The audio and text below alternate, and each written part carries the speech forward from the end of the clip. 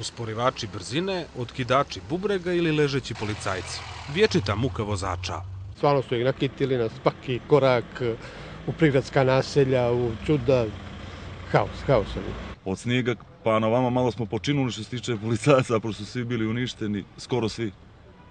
Tako da je ovaj bilo lakše voziti.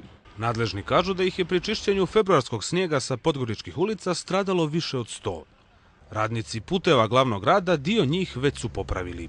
Koristimo stare policajce, dijelove njihove, tako da ćemo recimo svesti tu potrebu za kupovinom na minimum.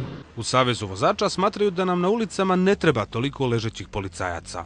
Što manje policajaca, više kontrole nadležnih organa, jer ako je svijest oni koji se bave vožnjom na nivou, onda ležeći policajci ne trebaju, jer ako vidimo u okruženju, mnogo je manje tih policajaca. Posebna je priča divljanje na ulicama glavnog grada, odnosno trke u ranim jutarnjim satima. To je stvarno strašno i mislim da, da, da, da čak ti policajci ne znam koliko su, koliko su dovoljni. Tu treba malo, mnogo više kontrole, mnogo više saobraćene discipline. U večernjim časovima kad izađe omladina malo kad udari pogasu, tu treba da stoje definitivno policajci da regulišu Ali ne ležeći. Ne ležeći, rekao sam, znači policajci koji primaju platu za to.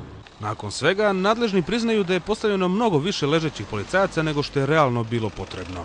Dobra vijest za vozače je da će ih biti 20% manje nego prije velikog snijega. Biće ih manje, poslije svega, upravo zbog toga što su češći bili nego što treba.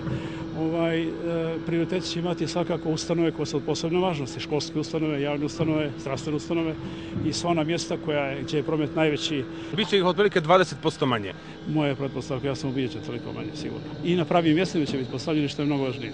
Do kada će postaviti sve planirane ležeće policajce, nadležni još ne mogu da kažu. Ali dodaju da će uskoro početi da ih popravljaju i u Golubovcima i Tuzima.